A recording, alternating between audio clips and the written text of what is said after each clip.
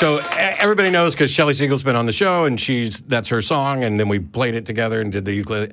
Shelly, come back. just come back and hang out. We'll do it again. Maybe do a different song on the ukulele and on that drumstick. Uh, yeah. Hi. Hi.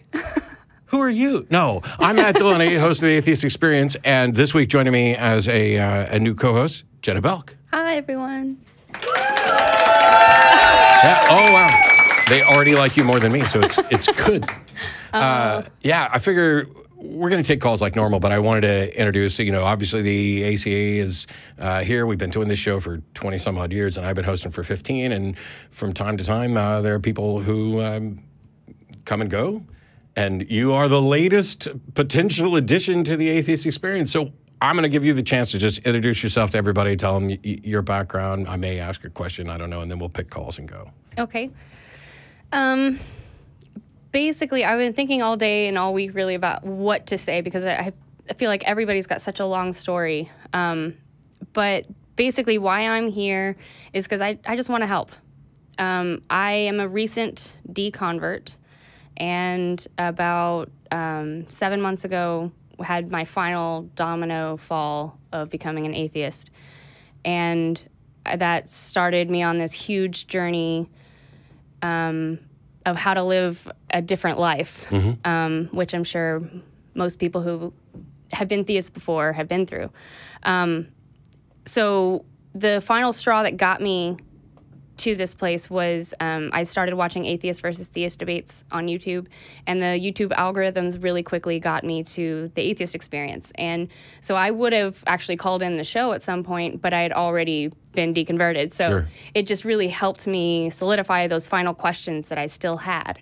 And so after a couple months of watching those shows, and then you had like held up an ACA cup, and I was like, ACA, because I'm an AA, and I was like, adult children of alcoholics, what? and so then I found out, oh, it's Atheist Community of Austin. I was like, I'm in Austin. So I decided to come on down here, and I don't know if y'all have ever seen Talk Heathen, but Eric Murphy was here and he was very friendly and i just had this wide-eyed face and i was like i don't, I don't know how i know anything. And so everybody here has been really really helpful to me for just how to have normal conversations because i'd realized that the conversations that i'd been having were just wrong um, Well, you picked the right show uh, you- for for wrong conversations, but yeah. and so this th- this show and other shows put on by the ACA have been teaching me how to have conversations. Um, Cool. um, I'm still having a lot of trouble with family Sure. and people finding out and trying to have those difficult conversations that I've never had with them before as being on the other side of things. And this is one of those places that I guess now I can come to and have those conversations where people aren't sick of me. so I just thought I'd help. No, I, I appreciate it. For those that don't know, yeah, this is probably your first time seeing Jenna on the show because that's the public facing thing. But she's been here volunteering at the ACA and you screen calls from time to time and everything else. And uh, you did an episode of Nonprofits a couple of weeks ago. And I happened to be here and I was like, uh, yeah, I think you'd be really good on nonprofits and running it. But why don't we have you come on the Atheist Experience and we'll take some calls and see what's up. Uh, today is, I don't know, June 9th, 2019. It's um, Pride Month. Uh, so there's Pride events going on all around uh, the country and possibly the world. Yeah. Uh, ACA participates in a number of those, but also one of the neat things about Austin, uh, and you should move here, by the way. You know, all those people who are like, you know, keep Austin weird and don't move here. Screw those people. Let's get this is the atheist Yeah. mecca. Just come on down. You'll be fine. uh, But in addition to all the cool stuff that happens around Austin, including closing down Sixth Street for Pecan Street Festival twice a year, and then about ten other times during the year for let's just have a party. Friday. Um, there's all sorts of small towns uh, around Austin that were actually settled by German freethinkers, and so the free th- free thought community has been strong in this area, uh, right down you know New Braunfels, San Marcos, and and then you got Wimberley, Georgetown, et cetera. And a lot of them have on one Saturday a month, or maybe every other month, they'll have their market days. So in most of these small towns, there's this gorgeous town hall that is you know German architecture and uh, painted up nice, and they look really good. And then in the town square around there, people will set up booths and sell, I don't know, whatever soap they made or a baby goat or uh, whatever the craft they're in. But I know that members of the atheist community, particularly Atheist Vanguard and others, have been going out to these events and setting up just a booth along with everybody else and come by and talk to us. We've done that at Pride festivals. We do that kind of whenever we can for the people who are here to participate. And for years, I was president of the ACA, and I, I, I really wanted to push the, the C part, the community part. Um, and we've had hit or miss success. The show, okay, the Atheist Experience is the flagship operation of the ACA. It's what draws a lot of people's attention here. But I want people to know that there's 20 some odd people on the other side of the glass. There's more sitting in the back room. There's more out back. After the show's over, we bring dinner in. Everybody gets to hang out. We are truly building a community. This this office is open, or this building is open seven days a week from 11 to 9. There's always somebody here. There's something going on. We're producing nine shows. There's game nights. There's philosophy nights. Um, if you're not in Austin, what the hell's wrong with you? and if you are in Austin and you haven't been here, what the hell is wrong with you? uh, we're, we're, we're really doing uh, a lot of stuff, and I'm really proud of the, of the way things are going.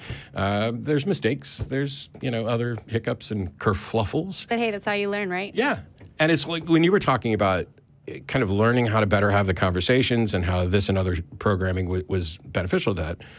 Uh, that's the whole reason that we end up doing this. And people often will think, oh, you know, uh, they've got a theist on the call and they're going to beat that theist up in an intellectual bout and convert them.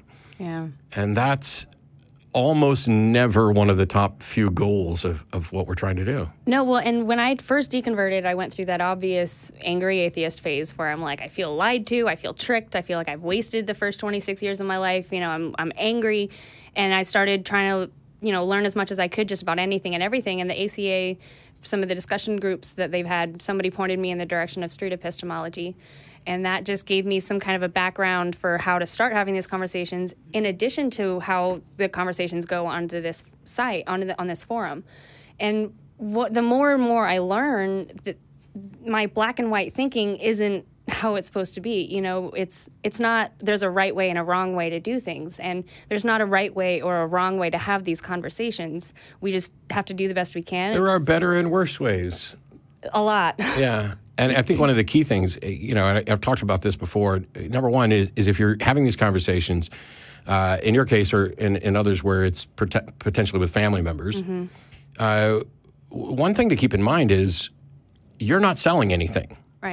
You, you don't owe anybody an explanation for who you are. This goes for everybody, but it's it's come up uh, quite often in in discussions about the trans community in the last week, which is why it's foremost on my mind. You don't owe anybody an explanation ever for what you are, who you are, how you think, anything. None of that. But if you want to have the conversations, uh, then at least in the in the realm of you know religion, atheists aren't selling anything. We're just the people who are not convinced uh, of what theism is selling, and in some cases are actively convinced that the theists are selling something that is unreasonable, unwarranted. You know that their reasons for believing this just don't have merit, Right. and that's why we end up having the conversations we have. Yeah, and you keep having so many people coming at me saying, you know, well, what's the harm? And I'm like, well, if you really wanted to know, then we could sit down and have a conversation about it, and I could explain to you the harm that I've found. But if you're just asking just uh, to dismiss me, well, then we're not going to get anywhere. Yeah. So, Hey, that's just like your opinion, man. yeah, it's, Uh, for the record, I despise that. And uh, while this will probably alienate several fans, I've never been a fan of the Big Lebowski. Uh, oh no, Matt said it out loud. Uh, it's not that I hate it or anything. It's just not me. But so we want to get to some calls and Yeah. pick anybody you like. how about Raphael? All right, Raphael. Holy crap! I hit the wrong button. Oh, So this is a professional show that I've been doing for 15 years, and I just hung up on Raphael, which I know Michelle is laughing about tremendously back there. So pick another one, and, and I won't hang up on them. let's go with Thomas. Thomas, it is. Thomas, you're on the Atheist Experience with Jenna and Matt. How are you? I'm doing good. How are you, Matt and Jenna? Great, how are you? Not Or- too bad. Uh, so, Matt, this is going to be my third time calling in. hmm Uh, I'm not sure if you remember, but at the end of our last discussion, you told me to look into the fact that you referred to consciousness as an illusion. And for there to be an illusion, something needs to be deceived. Uh, so, therefore, consciousness is something other than an illusion. And if consciousness is an illusion, then our minds are something in and of itself because we experience the illusion. Do you agree? So there's a brain that experiences that it gets information from our senses and it processes information on its own, it does thinking. And so there's a brain there which can be deceived. And the notion that consciousness is potentially an illusion upon the brain um, because what consciousness is is not particularly well defined or well understood, which is why philosophers continue uh, debate, to debate the subject and why scientists are investigating things like, okay, do I make a conscious decision or does my brain make a decision that it then rationalizes as if it were a conscious decision? And there's some science that seems to suggest that your brain makes decisions before you are consciously aware of it. Um, but I'm just going to set all that aside and say, okay, so what? I, I don't know, okay. you know, the, the fact that, so I would agree, and I think you would, that you and I are both conscious, correct? Yes. Whether it's an illusion or something uh, substantive, I, I, I tend to prefer to look at consciousness as, as an emergent property of how a brain functions. You know, so when when a brain does things, it essentially produces consciousness or what the things, the experiences that we call consciousness but I don't know what that has to do with theism, atheism, gods, etc. Okay, well, I'll try to get there. I would agree that consciousness is not well defined, but um, I don't know what your views on AI is, but I don't think AI is conscious, at least not yet. That's what some of the top scientists say. Would you agree that AI is not conscious? I have no reason to think that AI is conscious yet. Um, I, but I also don't have any reason to exclude the fact that it could eventually become conscious. Okay, but for the moment, in the present, they are not conscious. Not as far as I can tell. Okay, so I would, although consciousness may not be well defined, I would refer to consciousness as something, uh, something in and of itself. Well, I, I don't know.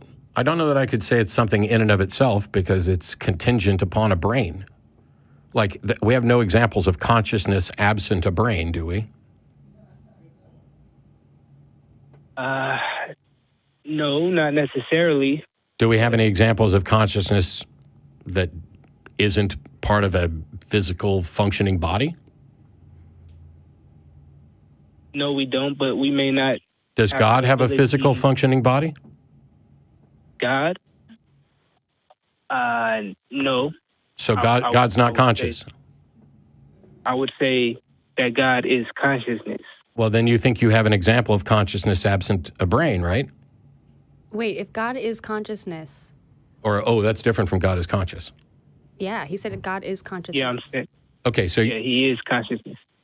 He is consciousness. So the the thing, the experience that you and I are having, where we would both call that consciousness, you're saying that's God. That is part of God. Yes. How do you know?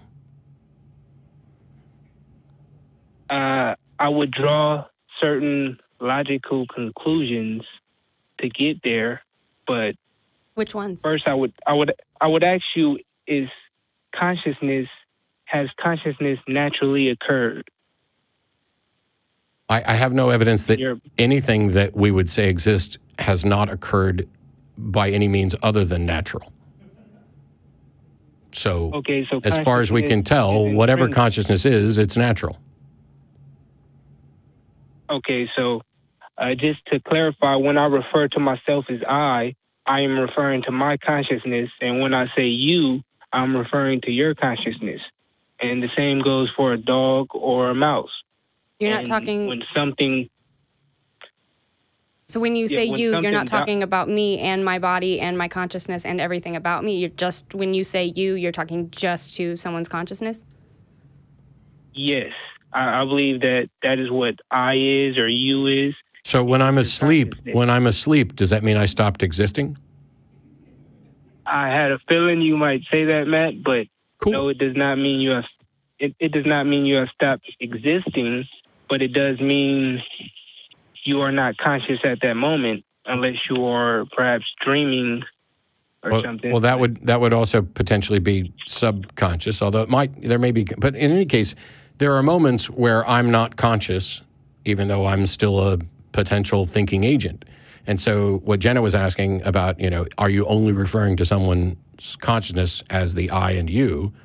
Well, clearly, that there's a problem there, because there are things about me that either aren't directly a part of my consciousness or may be present in the absence of my conscious awareness. like what what could be present My outside pinky. of your consciousness? My pinky, Well, that's that's that's part of your body. correct? which is not part of my consciousness. Okay, so it's part of my body. Let's just take my whole body. Okay, so when someone dies, their consciousness is no longer with that body. So they're them, they're not there anymore. Their body is there, but they are not there. Or would you say that they are still there? So do you mean Even though they're consciousness or do you mean soul? I, I'm referring to consciousness. And Okay, that, is that different? Uh, so I have not taken the time to define a soul. Uh, I guess some people may call it a soul, but I'm referring to it as consciousness. okay. So I just went to my grandmother's funeral uh, a couple weeks ago. Um, clearly, she's no longer conscious, and yet everything else about her body is still there. And so the question becomes: Is she there? Now, I understand the natural feeling. This is this is how we got to the idea of a soul in the first place. Is I'm standing here talking to Jenna, I drop dead, and all of a sudden I'm not able to move or function. And the only reasonable conclusion that, or the inference that Je- Jenna can make is there's something about me that used to be here and is not here anymore. That's kind of what you seem to be talking about with guard. However, the question I have is the consciousness is no longer there. My grandmother's dead. She's not conscious. There's no consciousness there. I also recognize that uh, the rest of the person is still there. I realize that consciousness is the part that we care about. It's one of the big reasons we make this distinction between the living and the dead. But I have no evidence that her consciousness went somewhere. It's what I have evidence for is that her brain stopped functioning and producing the thing that we call consciousness. That's it. So even if we were in complete agreement that the consciousness is the self, and I think there's a context in which I'm kind of okay with that. When somebody dies and there's no longer a consciousness there, um, there, there is a justifiable context in which you can say that person no longer exists. I, I don't think she's going to keep getting a social security check, but we have no reason to think that the consciousness goes anywhere in the notion that what Jenna was pointing to about the distinction between a consciousness and a soul. Do you think the consciousness goes somewhere, and why would you think that? Well, uh, do I think it goes somewhere? Well, a moment ago, you referred to consciousness as something. You said if you were to drop there in the studio, that Jenna would realize something is no longer there. I said that was a reasonable inference, yeah. But, okay, well, but it's not that- necessarily a thing that packed up and left. So In the same way that when I'm laying here dead, I'm no longer breathing either, but my breath didn't pack up and go somewhere. so how do you know when you look well, yes, at actually, it did. so how do you know when Alright, you you look start. at a person and you look at a computer and then a person dies and the computer turns off? How do you know that there is some part of the person that is missing versus it turned off? Or the computer is missing a part now that it's off or it's just off? Like, do you see how do you know that there's something that left the person but not something left the computer? Well, a computer, you can fix it. It's, I mean, comparing the computer to a human is kind of complicated, but uh, you can fix a computer. You can see what has malfunctioned. You can replace parts. You can do that with humans. Yeah, but you, that won't bring the human back to life. I mean, if you break you your can- arm, you can fix it.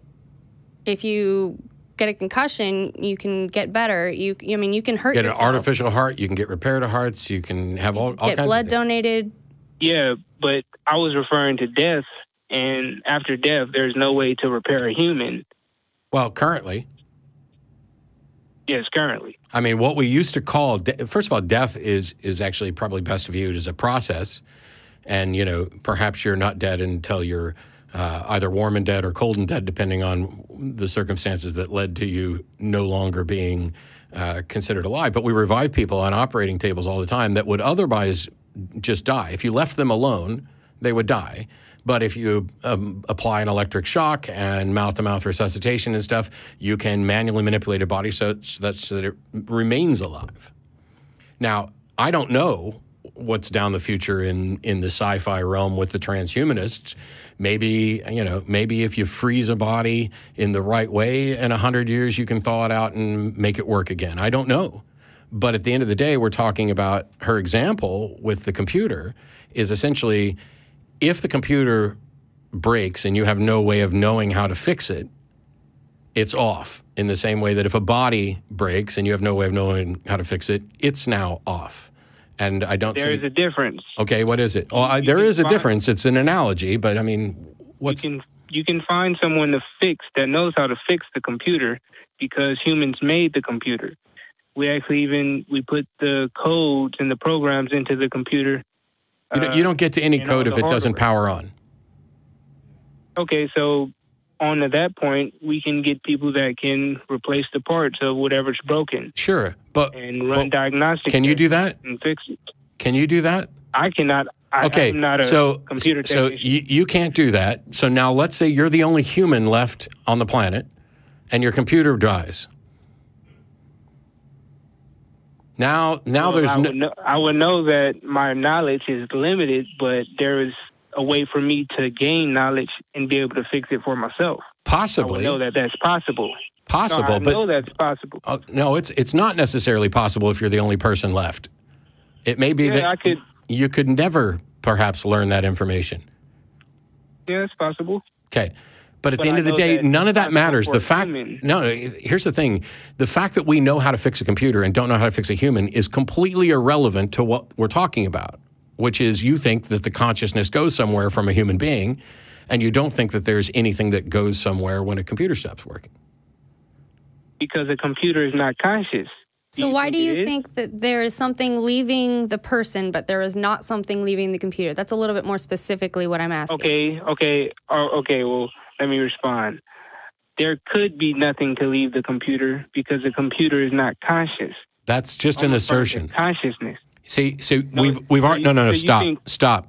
We've already agreed that consciousness is ill-defined and not particularly understood. But if your entire argument is it's not conscious, therefore it doesn't fit the example, then we're wasting time because that's a fallacy called poisoning the well. We're trying to come up with examples. Let's set aside the computer entirely. What on earth makes you think consciousness leaves and goes somewhere else and continues to exist outside of a body? Well, I would not. I would not be able to think that if consciousness is you once said is true. It is just it has formed over time, and it has not always existed. Uh, so, is that your belief that we come from you know the beginning of the Big Bang, the model? I'm sure this is an answer to some question, but it's not even in the same ballpark as the question I asked, which is what makes you think consciousness leaves people and goes somewhere? Well, that that was never my point. You asked me, do I think that consciousness goes somewhere? But He asked you what makes you Uh, think that. I don't think it goes somewhere. I just think it still exists Why? after. Well, if if you, think it still exists, I no, no, stop. We've already agreed that the person is no longer conscious, right? Yes. And you think the consciousness still exists. So the inference is there that it had to go somewhere. Are you saying that the consciousness still exists in that person? It's just that it's not evident? Uh, I know you're right. I, I suppose it would. That means it has to go somewhere. Okay. It still exists. And and all we're wanting to know is what justification would anybody have for reaching that conclusion? Uh, well, I would like to answer that with um, a syllogism. I believe that that might work. Uh, that's Okay. a form of reasoning. Uh, using two known premises, we can conclude a third. Yes. Okay, Do you, well, do, do you know the difference between validity and soundness within syllogisms? no, I do not. Okay. So, so Okay, so- validity goes to the structure of a syllogism. There are a number of different forms that you can use, um, and some of them are valid, which means true premises need to lead to true conclusions, and some of them are invalid, which means that the true premises don't necessarily lead to a true conclusion. And then soundness is a judgment on whether or not the premises are true or accepted to be true. And so, in order for a syllogism to be sound, it has to be valid in structure, and then it has to have premises that are true or accepted if we're just talking about basic reasoning. So, what, what's your syllogism? Okay, I'll give my syllogism, and you can tell me if it's sound. Uh, something has always existed. Consciousness is something. Therefore, consciousness has always existed. It's not only not sound, it's not valid. You, you, you, ha- you have a structure there where your premises, uh, your, your major and minor terms, are not structured in a way that is actually valid.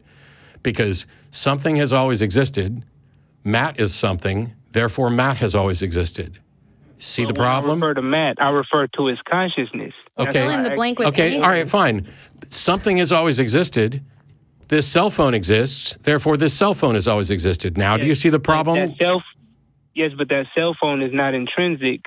It, it, it does not naturally occur. Yeah, nothing about your syllogism included anything about intrinsic or naturally occurring. Now, instead of recognizing that you've shown up with a syllogism that is invalid and unsound, you're just backpedaling to try to make excuses, and that would be an ad hoc or a Oh. post hoc fallacy. Well, a, a moment ago, I asked you, did consciousness naturally occur? And I said, therefore, that means consciousness is intrinsic. Okay, I, I agree that as far as I can tell, consciousness is naturally occurring, which means by definition, consciousness has not always existed. It occurred. See, if you take your syllogism, you're basically starting with, uh, wow, it's, I, I'm having trouble even putting it back together. Um, something. Your first premise is something has existed forever. Okay? Right? Yeah. Yes. I, I don't necessarily know that that first premise is sound at all. I have no evidence that something has in fact existed forever. And so the first Well, premise, hang on, hang on, the first premise is already questionable. I have no reason to think that there is something that has existed forever. Okay, so there's a problem in the Well, first in our- premise. But In a uh, previous conversation, I've, I've asked you, can non existence exist or can nothing exist? And you said there's no reason for you to think that nothing can exist. So therefore, something doesn't has mean always existed. Sure. Okay. Now, now. I see the problem. Um, when you say something has always, always existed, you are you're you are saying something has already has always existed. Your second premise, though, is then this is a thing. Okay. And therefore, your conclusion is this thing has always existed. And the, the reason I went with the cell phone example or eyeglasses or anything, the fact that there is something that has always existed does not mean that a specific thing has always existed.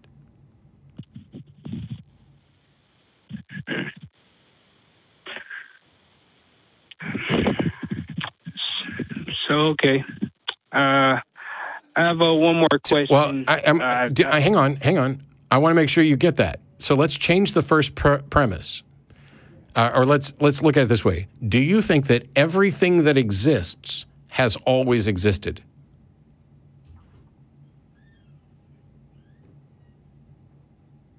Uh, in the terms of energy, yes, but not Okay. what specific things have turned out, like trees and things like that.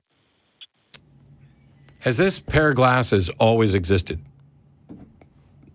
No. Okay. So now we have a second premise. There are some things that have not always existed. And now we need to figure out if the thing that you're claiming, consciousness, is in the set of things that has always existed or the set of things that has not always existed. And that is the problem. How do you demonstrate that? Hmm. Cannot demonstrate that. Uh, well, I guess that I guess that my syllogism was not it was not sound or valid. Uh, I guess I'll work on another one. Okay. That's But, uh, very honest of I- you. Yeah, before I go, I just want to wanted to ask you, Matt, uh, just to be clear, uh, you say consciousness did not exist at the beginning of the Big Bang. I have no idea whether But- consciousness existed then or not. I don't have any reason to think it did, but I can't show that it didn't. And and the the other question you might ask yourself is, what does any of this have to do with whether or not there's a God?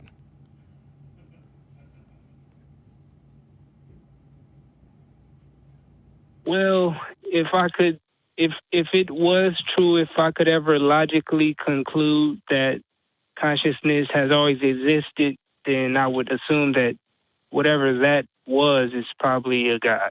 Okay, that's another fallacy because the, even if we could demonstrate consciousness has always existed, the next question in that chain would be what is it that serves as a, a foundation for consciousness always existing? And you're going to reach the conclusion that that's a God. And I'm then going to ask you, how did you reach that conclusion?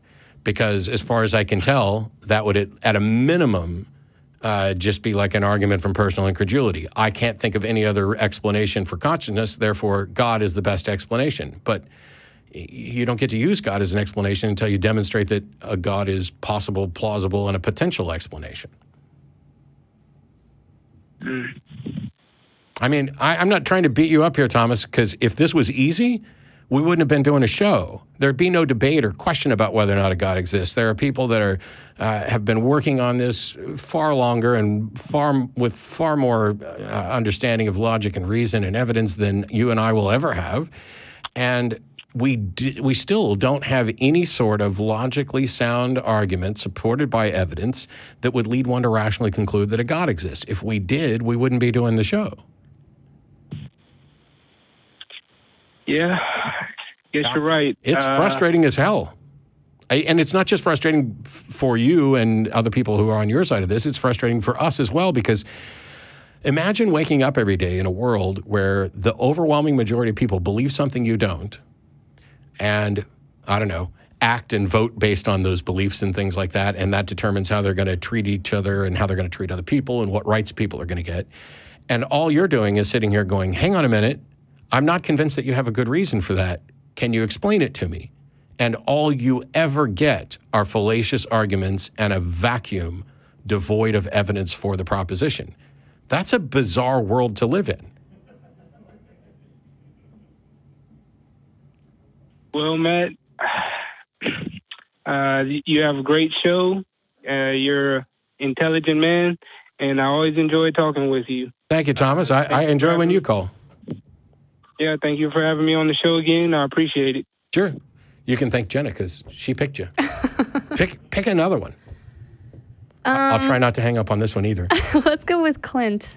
Clint. I think I can help on Clinton, that. South Carolina. You're on with Jenna and Matt. Hey Jenna, hey Matt. Hi. Um, How you doing? great. I'm really, I'm really happy I, I, I got through to you. Um, so I've been watching a lot of your podcasts. This is the first time I've, I'm calling in or thought about calling in on this. Um, if, if you don't mind, I'd just like to quickly try and steel man your position on skepticism. Okay. Um, your objective basically is to believe as many true things as possible and believe as many false things, or as, as few false things as possible, right? Hard for me to deny that when I put it on a T-shirt. So yes, that's accurate. Okay, and and to that end, you think the best way to go about that is uh, skepticism. So Meaning, skepticism um, are the principles behind how I would go about investigating a claim, but the it's not like skepticism that convinces me of something. It is the weight of the evidence that convinces me of something. Okay, Okay. Skepticism is the method by which we go about figuring out what evidence should be necessary, what evidence is good, whether or not an argument is valid or sound, whether or not the evidence is, that we're, we're viewing is reliable, that sort of thing. It's kind of like a it, it is the it is the position of having the goal to be more right than wrong and finding the best methods to do that. It's not that skepticism itself is necessarily the method. It includes scientific methods, et cetera. Exactly. Yeah. Obviously, I would agree that you know, starting at logic, then mathematics, then science, building up, you know, from one to the other, is uh, the the tools in which we use to you know discover truth. Well, you just, I, I agree with you again, Clint. This is going to be the easiest thing ever because we just keep agreeing. so, so, so, but, but my, my, my question is, is the method you go about, uh, ordering your, your logical arguments, you would define as skepticism, right? So you're skeptical if, there's a fallacy leading to a conclusion, you're, you'd be skeptical of that conclusion. Oh, well, of course. But that's not the only. A, a fallacious argument is not the only. Well, I'm skeptical of everything. Uh, this exercise of doubt, of not being convinced, of thinking that something perhaps doesn't warrant being convinced, that uh, is certainly heightened when we identify a fallacy in the argument and, or a flaw in the evidence for it. Um, those aren't the only reasons that I would not be convinced of something. Right. I actually took your your challenge pretty seriously when you encourage people at I think it was the last atheist convention to investigate logic and reason. Mm-hmm. Um, and when I did, I came away thinking more than ever actually that belief is the best way, not skepticism. And I think I can I think I can try and explain why. Okay, could you before you ex, before you explain why could could you explain what when you say belief Okay. is a better way than skepticism? I that that's belief- that's to me like saying conclusions are a better way than methods. Well, okay. So I will I will right now personally 100% agree that there is no deductive way of getting from evidence to God. Okay. Um, however, I don't think there's a, a lot of things that I mean, if, if if there's if there's things that are material, you can definitely get from deductive evidence. You know, A B B I got you. BC equals C. A. Anyway, um, you can definitely get there that way. Um, but when it comes to things like abstract things like personal freedoms and and and concepts like God or spiritual, you know, uh, entities or anything along those lines, you can't necessarily rely I, I would say I don't believe that we've reached a technological point to where we have we can we can definitively say that those things don't exist. Well, oh, oh, oh, oh. why would you go with saying those things don't exist instead of saying I don't think we can say they do exist? Right. Because, first of all, abstract things don't exist, they are mental constructs. So they don't exist in the absence of minds, as far as we can tell. It's not like hope is something that exists out there that we're tapping into. Hope is something we have and we do. Okay. So, so I would agree with you that when it comes to material things, you can create deductive arguments supported by evidence. Boom, th- these glasses exist, this phone exists, whatever. For abstract Right. things, why would you presume that there is an attainable truth value for them at all? Well, why would you not? Isn't that isn't that a uh, isn't that a logic um, appeal to logic? Well, no. See, one of the things is that you have to begin with some kind of default position, and you can either, for example, and that's that's kind of where I'm going with this. The default position should be belief because you're going to Okay, so then your default position, then your default position, according by by that, would mean that you would have to believe in Jesus, Muhammad, Scientology, uh, Jainism, or yeah, Jainism. Uh, pick them all. You'd have to believe all of them until you could prove that one of them wrong or more than one of them wrong, right? absolutely. So do point. do you believe all of them? You need to investigate. No, hell no, because I've investigated several of them and I found them to be fallacious. So so But you but here's the thing. but I can't rule out the others yet because I haven't investigated them all yet. Okay, What if I make one up tomorrow? Nope. I'll believe that too until I can prove it. Okay. Oh, cool. This is this is nuts, Clint, and, and this is nuts. And I'm gonna I'm gonna fix this real quick. Nobody's saying you have to be able to rule things out. I'm saying if the default position is not to believe things until there's evidential warrant for it, now I'm in a position where I don't believe any of the world's religions, and as soon as one of them demonstrates that it is real, I can now accept it. You are in a position where you have to accept every religion and then start picking them off. Well, the fact that you haven't yet picked off these eight uh, already doesn't tell you which, if any, of them are true. They could all be false. And second, it puts you in a position where you are forced to believe things that are contradictory. Jesus can't be God as well as somebody else being God. Well, I agree with that. And Okay. I would also argue that the Bible doesn't support that. But Are we talking about the Bible? I, I don't I don't know what you meant well, by that. I mean, okay, so well, I'm, I'm assuming I'm assuming you're talking about the Trinity and you know the doctrine of you know the three in one. You know, No, I wasn't Spirit. thinking about the Trinity at all. I'm pointing out that it's like I, I'm not a sports ball guy, but there are sports that I like. So let's say you're watching the top 10 curling teams, and you're sitting there trying to figure out which one is the best. And you watch it, Canada? you you watch a couple of games, and you find out some of the teams that lost, and you can say, yep, they're not the best. But what you're telling me is you're going to believe all the rest of them are the best until such time as you're shown to be wrong. Yeah, but that'll take about 30 seconds when once you compare scores.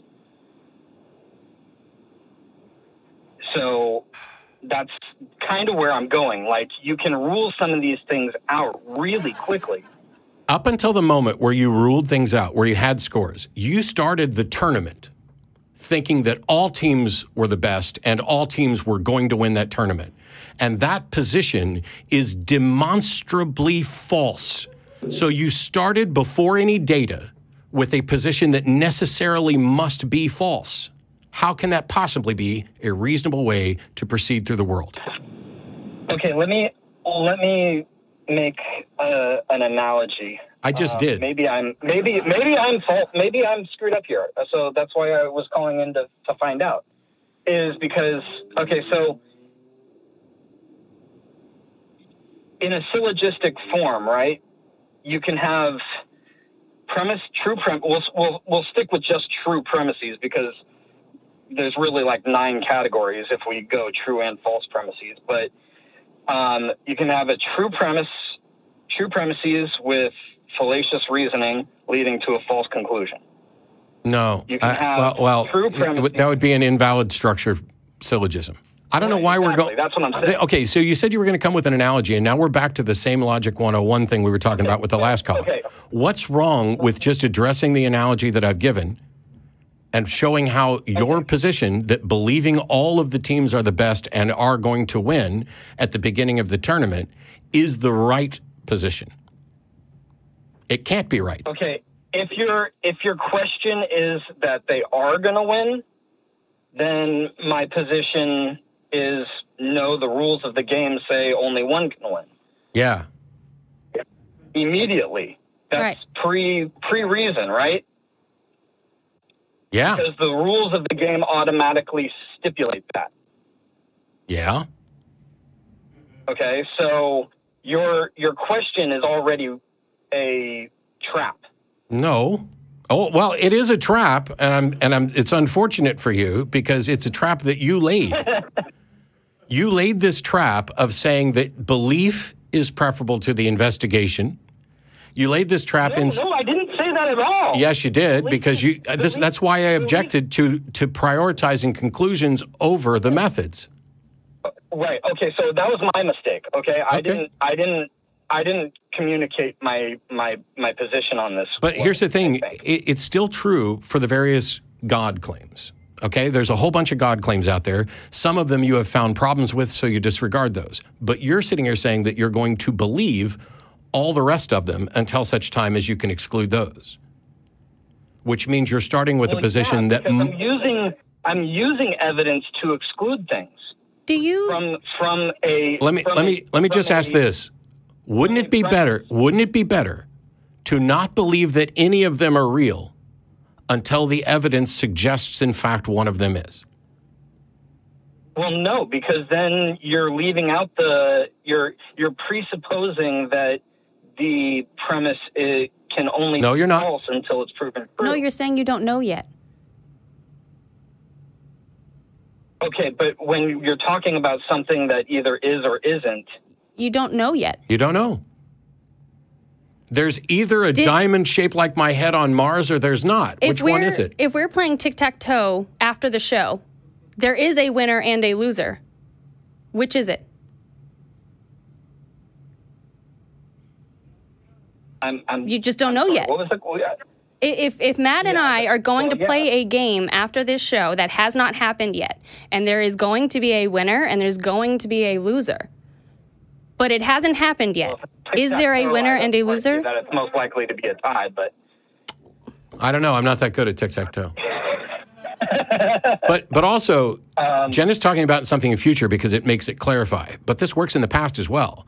Let's say uh, somebody was murdered. We don't know who it is, but we have 10 suspects. Are you going to start by believing all 10 of them did it and then start ruling them out? Or are you going to begin with the presumption I'm going to believe they're all innocent and then start. Or just you say just you don't advocated for the exact opposite position from what you were advocating before. This is why skepticism is not. Yes, it is. Absolutely. This is why skepticism is so important and so critical because it establishes a burden of proof and a default position that ensures that you're not engaged in cognitive dissonance so that you're not simultaneously believing two things that are mutually exclusive. It sounds to me like you're saying I'm going to pick the one that I want to believe first and then I'm going to figure out which is true later. And we're saying I'd rather know what's true and then decide what to believe. That's all. That's the only difference. Okay, here's here's my yeah here's here's here's my take on why I think belief is better. I I prefer knowing more true things than not knowing false things. You don't know anything. Your position does not. I don't either. I don't either. Your position does not get you. First of all, my statement was I'd rather I want to believe as believe as many true things and as few false things as possible. Right. I don't know why you switched it to knowledge, but the second you do, now it seems Oh, that you're no, no, no, no. You're absolutely right. Belief is definitely my position. sure. I- I- so, do you want to believe as many true things and as few false things as possible? absolutely. Then you cannot simultaneously. and then you cannot. You cannot simultaneously believe in multiple gods. And I favor no, I favor believing more true things than less false things. Okay. So you do, you rather- don't care for an rather err on the side. I would rather err on the side of possible. No, see that's the thing. You're the you're making a simple math error. If you say so, like I want to believe as many true things and as few false things as possible, and you say the same thing, except that you want to err on believing as many true things as possible. So that puts you in a position where you're going to believe things. You are going to believe that something is true when it is actually false. So you're not actually believing more true things. You are in fact believing more false things are true.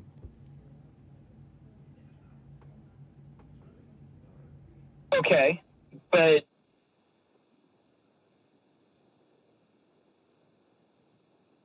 okay, I guess that makes sense to a, to a point. Well, when you find the point where it stops making sense, that's where I'd like to have a conversation because I see no point at which that stops making sense.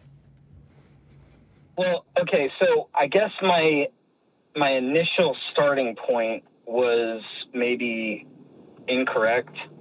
I want to avoid the appeal to the appeal to logic fallacy.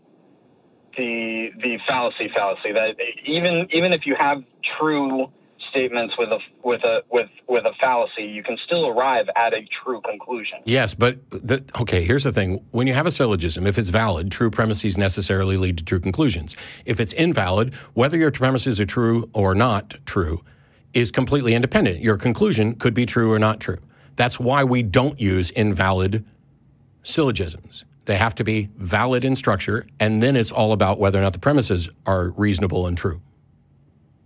Right, but you can't ignore the the the possibility of uh, Who's doing that? conclusion Who- from Uh, Oh my God, you're calling the Atheist Experience, a show I've hosted for 15 years, where I have encouraged theist callers over atheist callers to call in and present evidence for their God. Who the fuck is ignoring this? I, this has been my entire life got a point. to call in and suggest. I mean, I know that's not what you meant, and I know it's kind of something you fell into, No. but we're definitely not ignoring this.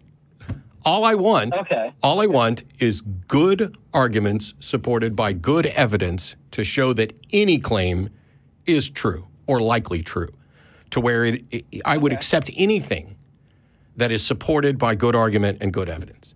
Same. okay. So that's that's probably where I was misunderstanding you then. Yeah. Um, just Uh, it says here as a quick one note. more. It, it says here as a quick note from the from the caller. Uh, the little side note says it's better to believe in something rather than nothing, and we didn't actually get to that. But I think Jenna can can solve this real quick. Yeah, that was going to be, that's why I picked you, no offense. But um, I think that, so when you say it's uh, better to believe in something than nothing, well, I think it first depends on what the something is that you believe. You know, it. I believe in kindness. I believe in mm. honesty. I believe in so many things. Like I don't understand why I have to believe in a fairy tale too. Yeah, and and so this thing about it's better to believe in something rather than nothing. I don't know anybody who believes in nothing. Yeah. I mean, that's as big of a straw man as suggesting you know we, we're dismissing the notion of God. So Right. Yeah, and I would never I would never assert that that that anybody believed nothing. yeah, Yeah.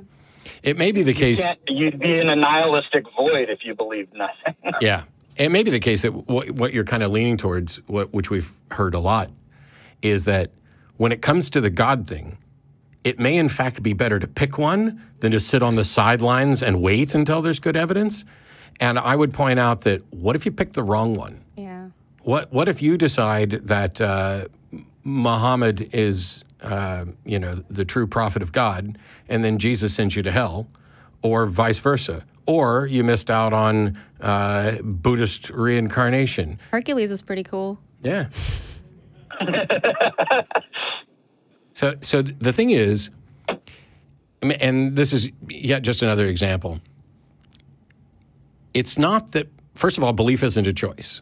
You, you are either convinced or you're not, but you can make some choices about how you're going to evaluate evidence and wh- what you're going to favor and things like that. So you can kind of pollute the process of thinking. Skepticism has as its primary goal the removal of that pollution to make things as um, unbiased as possible. We'll never get to be truly unbiased. Uh, and even computers won't, because by the time we get AI that works like us, they'll probably have biases and, and potentially be conscious. But we'll say that for another call. But if, if, the, right. if the thing is that for the people who are operating on some sort of Pascal's wager of I'd rather believe this, or I feels like I should believe this, or I can't just sit by and wait. I need to make a choice. I need to make a choice now. Those choices and those decisions and what you believe have consequences for all of us. And so if you pick, mm-hmm. if, if you are convinced of a religious belief, that then encourages you to, I don't know, spend your money in a certain way, vote in a certain way, treat people in a certain way. Those are potential consequences from this. And to say that it's better for you to just take a position because it hasn't been shown to be false and ignore all the potential harm from that, not the least of which is well, that absolutely not. I would never advocate that. I would. you wouldn't, I. I but I you did. No. You, you you did you did Clinton, and here's how you you you didn't do it in the sense of advocating for bad positions or policies or anything else. I'm not. That's not what I'm talking about. The process by which you come to a decision about any claim is not exclusive to that claim, And so, if you become convinced that you have lucky socks and a lucky rabbit's foot for bad reasons, that same flawed reasoning still exists in your head, and you have now amplified it as if it's a good thing. And so, you are encouraging yourself to continue to believe more things that are probably false. Can I ask you a question, Clint? Absolutely. Do you believe in prayer? Do you believe that prayer works? Um, so far as you act in harmony with it, which is as simple as saying almost never. Almost um, never. do you think that it would matter if there's a large portion of our planet who do believe that prayer works? Again, I don't think so much that what people I mean only only so far as what they only so far as the actions they take in relation to it. Like praying? Like like okay, so they say they let's say they they they pray and say ask for, you know, a raise Knowledge. at work. Well, if they work real hard or something like that and they get a raise, well, I mean, it's pretty self-evident, you know, that either either the, the, it, there's no there's no definitive proof that prayers are answered. So the reason So the sorry, the reason that I I, asked I guess what I'm saying, Mhm. I guess what I'm saying is only so far as your agency allows you to work toward that goal. so sometimes I mean, well, I'm, I think I, I think I forgot. I think I got sidetracked off of your original question. Your original question was something about. Um, does do you think prayer works? Do I think prayer works? Okay, yeah. So, no, I guess my I, my answer wasn't that far off. Only so far as your actions, you work towards that goal. So, as as far as an as far as again, I can't prove that God exists, so I'm not saying that He does. Are you I saying I think I can. are you saying if you I do can- other things in addition to prayer then prayer works? Prayer on its own, I would say, is unlikely to work. Okay. Do you think then You then have to act in harmony with your prayers. Right, oh, so So, if I have a headache and said a prayer and took an aspirin, is that when prayer works? well the reason the reason mean, that I'm asking and this is a There's serious thing is because there are a lot of reasons for that, but Sure. Right. There are a lot of people out there that think that prayer works, and not only does it work, but it is the solution for problems. Okay? I lived a lot of my life believing that if I had a problem, all I had to do was close my eyes and pray. So there were a lot of problems that I didn't get fixed until much later because I didn't think that there was a way to find those problems outside of in my head talking to Jesus. So I think that that is just one of the huge problems with flawed thinking. Um, people live their lives this way. Can, can you prove prayer doesn't work? again, I can't. Okay, then wouldn't Um, wouldn't you be forced to believe prayer, prayer works based on your own methodology of believing something until it's proved to not be true? I mean, trust me, I don't want to convince you to believe that prayer works, but I'm just pointing pointing out a problem with your I methodology. mean, I. I would. You're you're you're right in a. You're right. I mean, I guess by my own reasoning, I would have to say that until until I can rule out that. Okay, so I would. Well, okay. I- you- hey, let me let me make this even more difficult. Prayer, We're Let, talking about it, let me let me make this even more difficult, Clint. right? I'm going to make this even more difficult. Can you prove prayer doesn't work?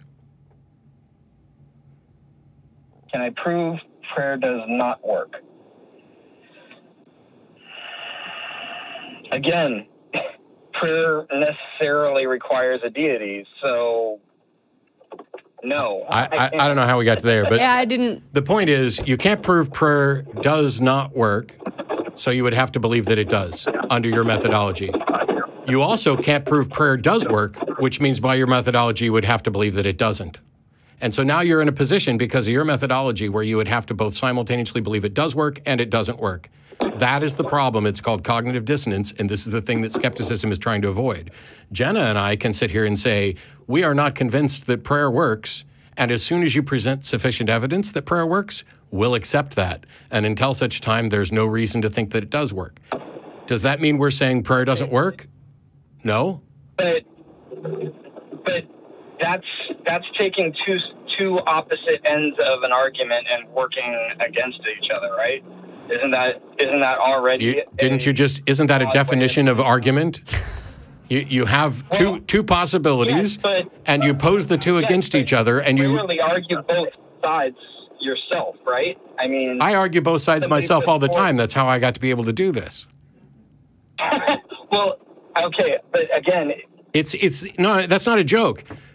Being able to consider both both prongs of a dilemma and address them both fairly and determine do I have reason to believe one or the other or if I'm in a position where I don't have reason to believe either. All of those have to be options. That is the process of skepticism that tries to remove the bias that we all feel. Because I'm sure at some point, both of us would have loved it if prayer worked both of us would have loved it if the God that we believed in was real. Mm-hmm. But we were, as far as we can tell, wrong. Not necessarily wrong about the fact, but wrong in our reasoning that led to that conclusion. And so we scrubbed our brains as best we could of the flawed reasoning. And if there's a God or a supernatural thing that is true and real, it has nothing to fear from inquiry, questioning, doubt. The truth has nothing to fear from investigation. And so if, the- if there's a God, and you've already acknowledged you can't get from evidence to a deduction about God, why is that the case? Because if I were God, there would be evidence. If I was a God who wanted people to know that I existed, wanted to have people have sound evidentiary warrant for their beliefs, there would be mountains of evidence. I mean, he's not God, and there's mountains of evidence. Yeah. So I'm more powerful so than God. I, well, okay, so and so are you. based i mean there there are there I, I, I really hate to get into actual uh, theological discussion i'd really rather Oh, I love it. a- Uh, seriously, that's why I'm. That's on a, actually uh, why I'm here. Because I realized at my final deconversion point, I had realized that I had never heard the atheist side of the debate.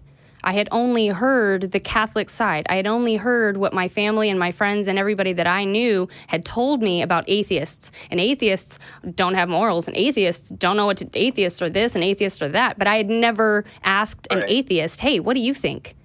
And that's the difference between the position that I'm in today and the position that I used to be in and that I'm trying to talk to the people in my family about is that I know where you I know where you are. I've been there. I've thought the things that you do.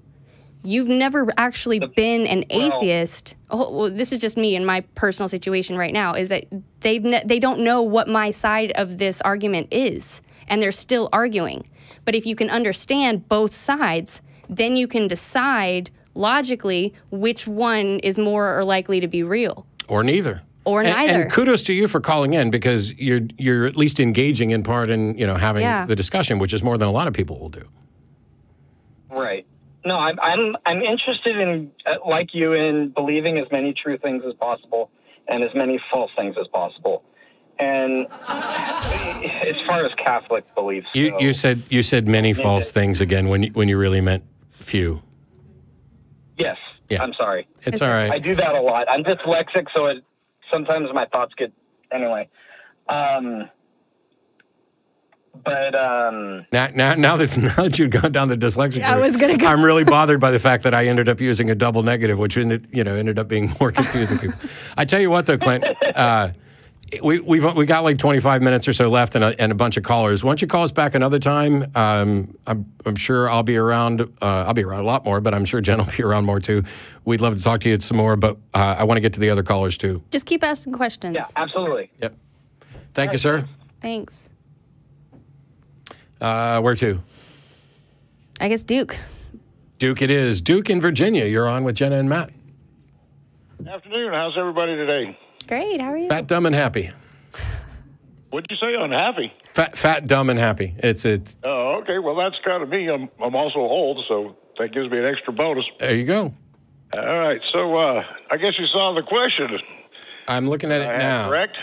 Um, Oh, uh, I, I posted a video this past week or week before about whether or not there's evidence for God, and uh, I gave an example about me killing a fictional person named Steve and what counts as evidence and what doesn't. And you wanted to address that? Well, in, some respect, but I'd kind of like to take a, a different approach. As you know, Sure. my question is: in your scenario, Matt kills Steve, and then you point out if Steve, if Matt exists, then that is evidence that it happened. So what I really want to get to is, without the evidence, what well, I mean, what other evidence do you have? Let's say that Steve was killed, but Matt doesn't exist. There has to be some other explanation for how Steve got killed, correct? Yep. Okay? So this is my only objection to the atheist debates, and and I got to say you're among my favorite of the celebrity atheists out there, commenting your uh, on your videos frequently. And it was almost as if you were reading my comments because I'd always wanted to call the show and say, you know, you are aware that there is evidence for a God. You don't have to accept it, but it does exist. But you've acknowledged that. No, no, no. In the context of there's anecdotal evidence and stuff, yes. But the whole point of that video was once upon a time, I would, like a lot of other atheists, glibly say, oh, there's no evidence for God. And then the pedantic people would come along and say, well, there's testimonial and anecdotal evidence, and that's actually evidence. And I would say, yes, Right. And you but it's not. to accept that evidence. But it's not good enough evidence. It's not sufficient evidence. But the truth is, the whole point of that video was to say that I may have in fact been wrong, and it may in fact be fair to say there is no evidence for the proposition God exists, because the type may of be fair to say that. However, what I'm seeking here is an alternative. an alternative to what? Well, to the question is, let's take, uh, say, the Oxford Dictionary of God, the monotheistic Christian God. He's defined as the creator. He's defined as the source of all moral authority, a creator of the universe, by the way, which I would guess incorporates everything in the universe, and is considered the supreme being. So let's start with creator. It's fine to say that you don't believe there's a creator God or there's not uh, sufficient evidence, but my argument is much the same. I don't find sufficient evidence to an alternative. It's tough. So if, Yeah. if, if, Tough. if If God there- did if not it- no, create the universe, Duke. how did it come to exist? we don't know. you don't know. We don't know. But so, do you have and if any the- evidence if the right answer- any uh, any alternative? I mean, really, do you have any evidence that supports an alternative? Um, well, we have Big Bang cosmology that that explains the process as best we can understand, but that's not the same question. The issue There here, are four different. There, there are four different. it doesn't matter. Four It doesn't matter. of how that happens. So Duke. none of them are confirmed. Duke, it doesn't matter. There's no, okay. Let's say somebody's murdered and we don't know who did it, but somebody suspects that the butler did it. Mm-hmm. Are we reasonable in concluding that the butler did it? Not without investigating. Okay. So now we have If a you unit. investigate it, you find that it doesn't look like the butler did it. Then do you stop there, or No. you go find an alternative explanation? you keep exploring to the best of your ability, but you do realize that some murders go unsolved forever, right? Because there's just an inability for us to invent. Now, okay, so now we have a universe. The universe. question of God will go on uh, unsolved forever unless God reveals Himself too. Cool. So Right. That's what we're waiting for. So I take it then. well, I take it. I take it, waiting for something that Duke. isn't gonna happen. Duke. I take it then, with that statement from you, that you also don't believe in God, correct? No, not at all. All I'm suggesting is No, not at all. if if you disagree with the with the prospect that there is a creator God, what alternate what evidence do you have for an alternate explanation? I, You I neither. much. I not. I don't theories. need any evidence for an alternative. Saying I don't believe something does not put a burden on me to come up with alternate explanations. No, it doesn't. But it makes no sense, and this is the point. It makes all the sense. You've already agreed that it makes sense. at least anecdotal evidence or minimal evidence over somebody who has no evidence. Duke, your position is essential. Duke, your position is nobody can know whether or not the butler did it until the butler reveals himself. But I'm going to believe the butler did it anyway. That's your position. Yeah, but it, but we're talking about different things. We're talking about the, the demise of Steve, but that's not really what the, the, the question about God is. It's not. We have a uh, universe. It's the origin. So We have a universe. Steve analysis. Let's say Steve exists, but Steve's but Steve's parents don't exist. How did Steve come to exist? Okay, I don't And need. saying- I don't need. No, Duke, God, stop. Because there is Stop. some evidence. Duke, there is stop. there's a sufficient belief. I don't need a bullshit hypothetical about a person existing without parents. That doesn't do any of us any good for you to even Whole suggest Steve something. Analogy doesn't really work either. The Steve analogy does work, uh, and you've already actually acknowledged that. That without supporting evidence, it's unwise and unwarranted to reach a conclusion. and it's unwise to just walk away and assume and just say, well, you know, the butler didn't do it. So Duke, Who walked away? did you listen to the last so call? who did it? Let's just, Duke, let's just, Duke, I can't, I can't, Duke, I can't Duke, know, Duke, so I Duke, don't Duke, Duke, Duke, investigate. Dukey, Duke, Duke. Did you listen to the last call? Portion of it, I was actually watching TV, waiting for you to come on. Well, if you had been paying attention, you would have heard us point out how absolutely bullshit it is to suggest that we have just walked away and ignored this. We are the ones here on a show, some of us for many, many years, continually asking, what is the evidence that the butler did it, and getting nothing but fallacies. We're not the ones walking away from this. The person who, the people who are in intellectual jeopardy here are not those of us who are saying present the evidence. It's the people who are saying we believe the butler did it, but we can't present any evidence for it. Those are the people who are being unreasonable. And not only that, but you have to believe the butler did it too. No, I don't necessarily have to believe the butler did it because that's just a proposition. The butler did it. Could Yeah, be, God and created is I'm also suggesting just a proposition. Something else did it. If Steve, if Steve is killed and the butler doesn't exist, or the butler didn't do it, there has to be an alternate explanation. How do you know Steve This is didn't what have a I'm heart trying attack? To get from atheists is some alternate explanation. How do you know? Tough. What alternate explanation is there? I don't know how There many times tons. I don't. I don't have sufficient evidence to support an alternate explanation. you don't have sufficient evidence to to support your preferred explanation. So you have a preferred explanation right. without So- sufficient so- evidence. So how is your? Shut up. How is the, You have your preferred explanation without sufficient evidence, and you're looking at everybody else going, Do you have any other alternatives? Whether or not people present other alternatives is irrelevant to what the truth is and what one is warranted to believe. So, do you have evidence for your pref- unlikely we're gonna Oh my God, you talked all the way through that. Goodbye. I'm not letting you do that to Jenna on her first day. Thank you. You don't get to just sit there and talk through, listen to the TV through the, the other call that already answered your questions and then talk through while I'm trying to explain. Uh, Hooray. So By the way, as a reminder before we go on to the next call, this show is sponsored by the Atheist Community of Austin, a nonprofit educational organization promoting positive atheism and the separation of church and state. You're welcome to come down if you are an atheist or atheist friendly person. Visit the building not only while the shows are gone, but 11 to 9, seven days a week, and there'll be dinner here after the show. Uh, if you're around, come on down. yay. Yay. I, I, I just occasionally have to throw out old style uh, announcements. It's, it's nostalgic. It's helpful. It, it was funny because uh, looking back on the show, like 15 or so years ago when, when I started, and uh, Ashley Perrion was the host. Hi. you, you come down and hang out anytime you want, Ashley.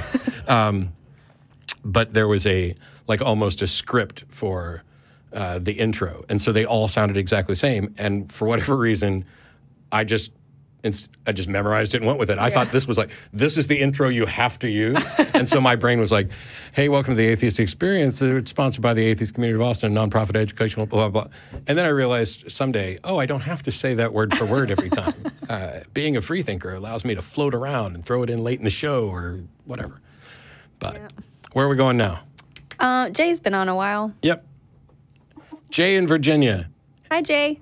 Hey, Hey, do you know Duke? Because he was also in uh, Virginia. no, All right. no. Oh, you're going to want to turn. You're going to want to turn down. We can hear ourselves on a delay in the background.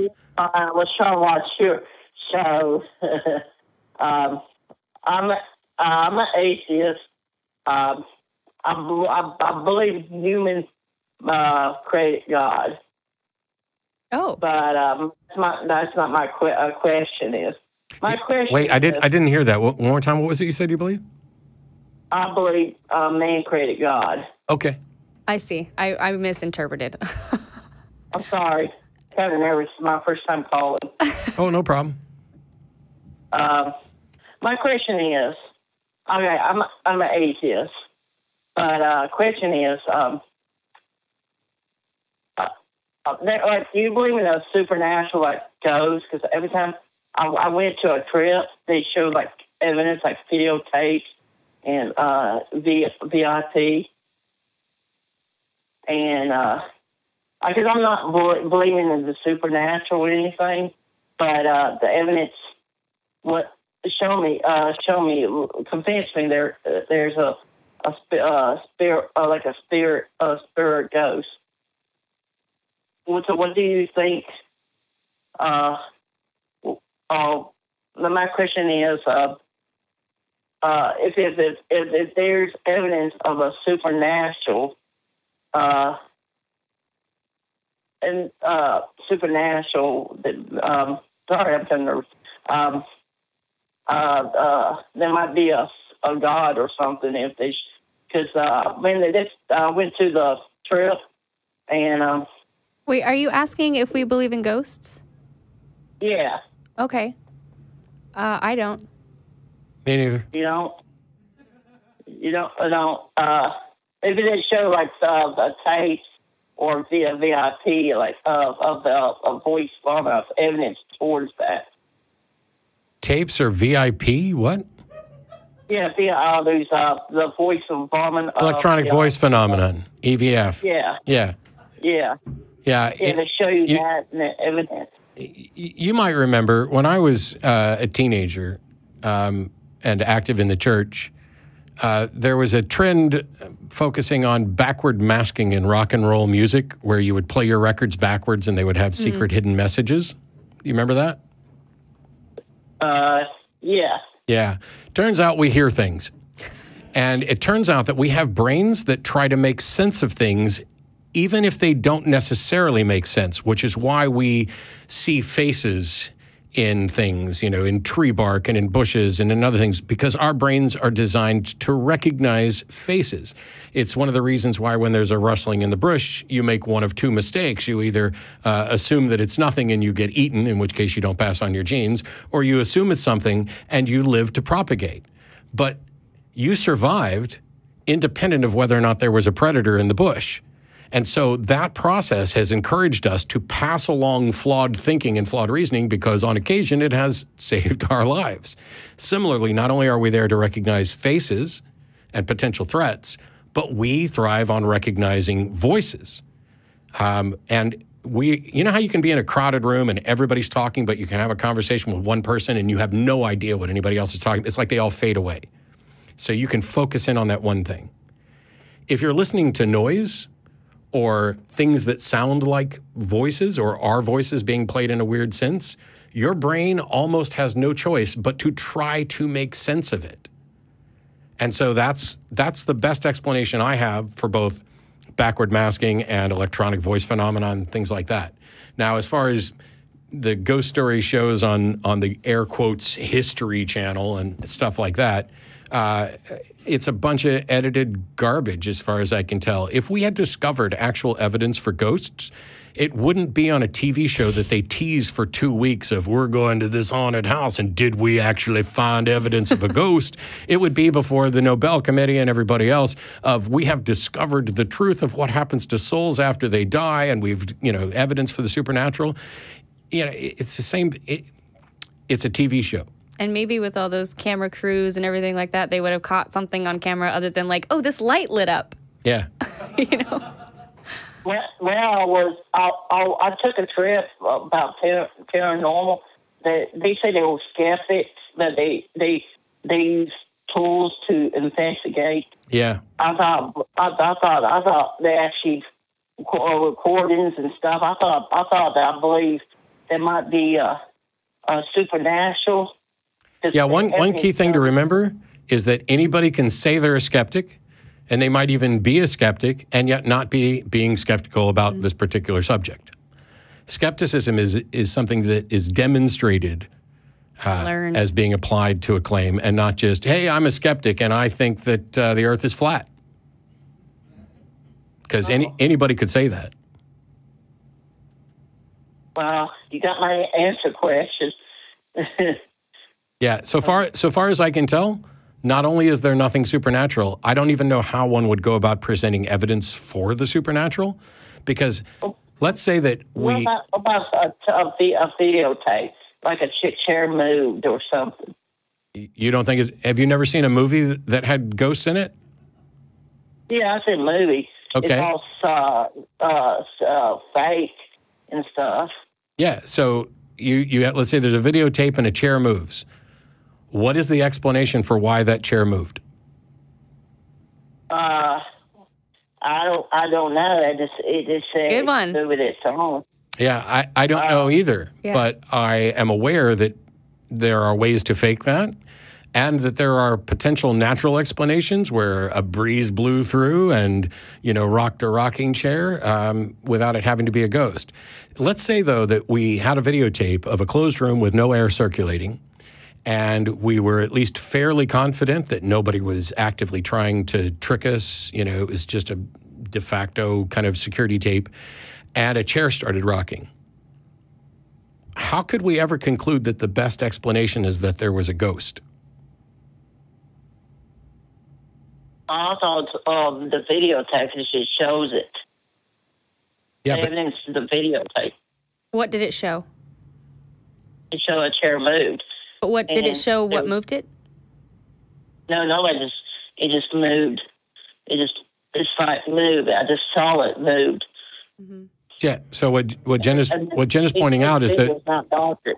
what Jen is pointing out is that the tape is evidence that a chair moved, not evidence of how it moved. And the fact that we don't have an explanation for how it moved means that we don't have an explanation. It doesn't mean that we're justified in concluding that it was a ghost because Or we couldn't think. Yeah, or we couldn't think of anything else. Maybe God moved the chair. Oh. So it, it's we don't know what it is. Okay. Right. Yep. And it's okay to say that. Yeah. That's why I'm so kind of confused on the Yeah. my my brain kind of No, it's, It's okay. it's we're all that way. the chair Getting yeah, the chair move. I thought I thought that I thought I thought there was uh, evidence of a supernatural. No, you got to you got to take each thing that happens and be like, okay, you, I think this happened or I think that's happened, and then you have to investigate. Then that's all we're doing. We're just taking every single claim and just investigating each one and trying to figure out if it's true or not. And if we don't know, that's all we can say. Okay. Yeah. cool. Well, that I think that's it. You got my question answered. All right. Yeah, cool. Keep keep reaching for I don't know until you have good reason to say, "Hey, I know." Yeah. That's about it. Thanks for calling. Thanks for the call. Uh, all right. We'll go Stephen in Australia. Thanks for waiting. Hi, Stephen. Thanks very much. Hi. What's going on? Uh, I'll be quick. I know it's late into the show. Oh, go ahead. Um, so I wanted, yeah, I wanted to just quickly run through. I hear a lot of arguments from theists about uh, what God is most, uh, like probabilistic arguments. So I'd say that, you know, a deist God, which means that, you know, it's a creator God which has no interactions with the current world, is probably the most likely. Um, I don't know what that is, you know, 10% chance. It's up to you. But I think it's better to not make a conclusion on that. So remain agnostic. I don't think it's justified to say that that exists. Is that fair? Yeah, the, the thing is, so if you looked at all the various God claims, you could do it in a sense where you'd say, okay, this one is the the the, the claim that has the fewest actual components. Hey, there's a deist God that doesn't inter- interact with reality, and that by that God is by definition more plausible than uh, a Trinitarian God, which is more plausible than I don't know whatever the hell Scientology might have that could potentially count as something godlike or supernatural. You could look at it that way, and then you could say, oh, well, of all these various gods, this one is the one that is most likely. Except that, what if most likely is still 0% because we are beginning with it's like finding out which married bachelor is most likely to be your future non-husband. Uh, if they're all unlikely, if there's no demonstration that any of them are possible or probable, it doesn't really matter. The fact that you know, uh, hey, Jesus is less ridiculous than Jesus plus Birkenstocks. You know, Jesus barefoot. Obviously, we've added a new component, and that makes it more unlikely. And plus, that one's even even more uh, likely than Jesus with pink Birkenstocks with rhinestones on them. None of that matters because ultimately the question is: Do we have reason to believe that any of them are actually likely, probable, or true? So it's Yeah. like, yeah, No, I agree with that. I think uh, my my uh, kind of why I wanted to frame the argument was, I guess, uh, uh, the argument from failing to leave clear instructions. Um, it ties into a little bit to the divine hiddenness Yeah. thing that I've seen you talk about. But uh, basically, I just wanted to say, like, for people who make the argument that the Christian God is likely or probable, I would argue that a deceiving God or a troll God is more likely because of the evidence that we have, which is that you create a system where um, you give your message to only one prophet in a specific geographical region in the world um, that doesn't have you know discernible ways to uh, make it more true than any other claims, and then you only leave it so that those your message can only be ever interpreted or re uh, distributed to people through flawed humans. So if you Yeah. were a god trying to deceive people, I think he's done a pretty good job of creating the system that we've got.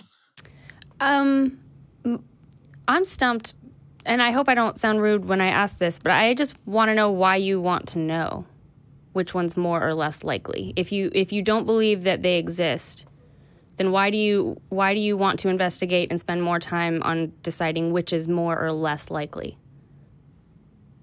I like to challenge my opinions a lot. Um, so I'm always open to listening to theist arguments. Um, the most common ones I hear are obviously, you know, Oh, w- arguments. We, we are too. Yeah. one That's what we've been advocating all, all, all show for sure, over and over again. Um, I think what Jen's getting to is uh, your, your this comparison, which I, I know wasn't your larger point because you were going for a version of argument from divine hiddenness, but uh, the larger point is that it doesn't matter which is more likely Right. if like, we have no way to investigate to determine which of them, if any, are real. Right. It's like one person says Casper's wearing a pink dress, and another person saying Casper's wearing a yellow hat. And I'm saying I don't care. And until you demonstrate that Casper's real, Right. You know? Do you see what I'm saying? Yeah, I think though that theists have their, their probabilistic arguments are based, like Matt was saying, on you know arguments that sound reasonable or have some you know limited evidence. Uh, you know, like say you know testimony and things like that, it's, or historical evidence. I, I like your argument from con- confused revelation or disparate revelation, which you know I've heard in, in a variety of forms before. Mainly, I like it because it shows the the, the preposterousness of a a loving, caring God that wants people to know. You know, there would be evidence for that. That's why earlier I was saying if I was God, there'd be evidence. It's it's one of those things where one of the books I recommend most often is a book called Innumeracy by John Allen Paulos, which shows how bad we are at math and statistics and statistical inferences, and not just because we can occasionally lie with them, but because we're really bad at processing large numbers and improbabilities. So you could say, what are the odds that Matt would be sitting here today on the Atheist Experience answering calls in this particular outfit given that in order for that to occur, all the people who made these clothes had to have been born and had to have parents, and their parents had to meet, and Matt's parents had to meet, and Matt's parents' parents had to meet, and Matt's parents' parents' parents' parents' parents' parents' parents had to meet, and you can exploit all that to say that the it's just astronomically improbable that Matt is here. That is a process of lying with numbers, because the probability that I'm here on the atheist experience is exactly one. I, I am in fact here. And all of that other stuff becomes irrelevant in the face of the prima facie fact that I am here. However unlikely it was, it happened. And that's one of the ways that we confuse people. And that's why I was doing the Jesus with the pink Birkenstocks, with the rhinestones and stuff, because ultimately it doesn't matter. Once you've crossed the threshold of no reason to think this is real, to say there's even less reason than no reason to Right. think it's real kind of goes off the rails. Yeah. I hope I wasn't being I insulting by asking you that. No, that's all right. I'm pretty pretty thick skinned. Um, yeah, it's just really common that I find it's just like, oh, I can't think of an explanation or I can't understand it. Therefore, you know, Yeah. God. I, I was just wondering. Yeah, it's the same frustration we feel. I'm gonna I'm gonna try and get. We've got one more call to get to before we finish up the show, and there's going to be Chinese food down here at the building that I've been told to remind everybody about. Uh, but thanks for calling and thanks for waiting. And and I do like that version of the argument. No worries. Thanks. Yeah. Thanks for calling. Cheers. All right, Sean in Pennsylvania, you get to be the last call for Jenna's first show. Hi. Oh my god. um, I'm excited to be chatting with you both. Awesome. And uh, Jenna, you, you you you told a lot, and I really understand, and uh, that's that's really cool of you to share that with us. And uh, Matt, I've seen a lot of what you've shared, and I have a lot of respect for everything that you do. Thank you. I have come with a question, and it's a difficult one, and it's a problematic one. How do we have hope? Or how do we have hope without faith? Ah, Oh. Well, I have okay. a friend who wrote a book with that title, or kind of kind of Really? the title. Hope After Faith was uh, Jerry DeWitt's book. What do you? How do you define hope and faith? Excuse me. Um, for hope, I would go with um, specifically uh, uh, wishing good for the future. You know, like uh, uh, or or or even our expectation for a better future. And, and for faith, I, I I would say that there's some sort of trust and belief that comes with that. Okay. Oh, so that definition of faith. Faith and hope. Oh, I see. You're saying that they're the same thing, right? Well, so by, by faith, you're just. Trying to How can we have hope without faith? So my definition of faith it makes it useless for hope or anything else. Right. But what you seem to be talking about is we have to trust and have confidence. But Have faith trust in and right? yeah, but confidence can be rationally justified. Faith is irrationally justified confidence, or a confidence that's disproportionate to the evidence. Uh, but but we can set the word aside. Um, how can we have hope? Well, for a lot of people, it's unavoidable. Hey, I hope this happens. I hope that happens. I'm optimistic about this. For some people, I'm not sure they can ever really have hope. The, sort of mm-hmm. pessimistic mindset of everything's awful and cynical. So it seems to me that the best way to, to foster hope is to teach people that both the overly exuberant optimism that flies in the face of evidence and the overly exuberant pessimism that flies in the face of evidence are both extremes that aren't warranted. And an actual honest assessment of the evidence will tailor your expectation of hope to that which is truly reasonable. So saying, I hope I win the lottery is okay, we can calculate what the odds of winning the lottery are, and you can realize that that's, you know, uh, uh, probably not a, a, a likely place to place your hope. But when I say, I hope Jenna and I have a good first show for her, that wasn't just, oh, I'm exercising faith. It's I'd already seen Jenna on the show. I knew a little bit. I know how the show goes. I have a mountain of evidence that leads up to saying, I'm incredibly optimistic that we will have a good show. That is hope that is warranted by evidence. It could turn out to not be true. The world is uncertain. But if you teach people skepticism, if you teach people uh, how to evaluate the evidence, I think hope thrives in that. And the hope that thrives in that is reasonable hope and not pie in the sky hope.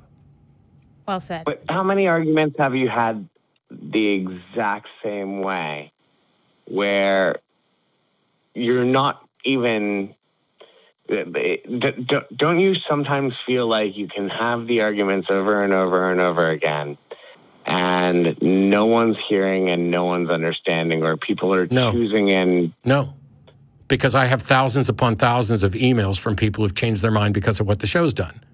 I every every single convention I go to, there are numerous people who come up to thank me for what this show has done. For not, not not just for what I've done, but for what the ACA has done, for what every host and co-host on here has done, for what the other programs have done, Wait. because they do change I'm minds. accusing you of anything. I- Like I, I, I think everything that you're doing is great, and I and I'm No, really you- happy to. You, I'm, I'm not. I'm not knocking you on this. I'm just saying you, you. You suggested that maybe I was sitting here frustrated by the futility of arguing with people who don't change their mind. There are people who don't change their mind, and there are people who do. Some of them call. Some of them watch. Okay, so going back to how can we have hope? It's it, it, you know like um, we can know uh, empirically that bad things are going to happen, no matter how good of a person you are. Yeah, and we can know that good things are going to happen, no matter how good or bad you are. Oh, well, I mean, I, I, I, I suppose so, but I, I, the, the the point that I'm making is in in in in this world where you can actually uh, uh, lie out every statistical prob- probability and uh, uh, and and realize in this universe how statistically insignificant we are. I mean, like our, our, our lives are tiny on a, a, a biological scale, let alone a geological scale, let alone a astronomical scale. What, what does the Um, scale have to do with anything? The fact, so an ant could potentially have hope, even though it's, you know, potentially less. None of this makes any difference to whether or not you can reasonably have hope. All you need to reasonably have hope is evidence that there's a possible or likely good outcome. So, so then the then there comes in the moral uh, question of what is a, a good outcome? What is uh, uh, uh, uh, you know? I mean, you know, like That actually, Sean, it's irrelevant. Do you agree that both good and bad things happen? um, You've already said that bad Yeah, things so- happen. Do you think only bad things happen? do I think only bad? No, I don't think only bad things happen. I, but I'm, I don't think that it's hard to like. Is anything that is a fact good or bad? Well, that is that is a complete diversion from what we're talking about. Do you think that good things happen? Um, I don't know. I believe things. I don't understand why this is any harder than asking, "Do you think bad things happen?" You you are No, you you are happy asking- instantly to say that bad you're things happen, and when I ask you if good things happen, you hem and haw. Yeah. Why don't you think You know, you're asking me a subjective question about a, a an objective. You know, like how, No. He just asked, I- "Do you think good things happen?" I. That's do I think good. ha- I, I I don't know whether or not. Like I think that I have had a good life. I think that my life has Uh, been. this isn't you're about saying you don't know if- I'm trying to be good You're and saying you don't know if those things are good. Is that what you're saying? I, I, I, I, I think that I have, you know, like it's hard because good and bad is a moral judgment. and No, it's not. Not not. I'm not talking I'm not talking about morality at all. We can look at it entirely from your subjective personal opinion about whether or not a consequence is good or bad. In your personal subjective opinion, do both good and bad things happen? Uh, do both. Yeah. Well, I mean, I again, it's a subjective opinion. I said Yes. in your It- it- personal subjective fucking opinion. yeah. So, so, so, I just- you're asking me yeah. Do you good. Sean personally think, in your opinion, that good things happen and that bad things happen?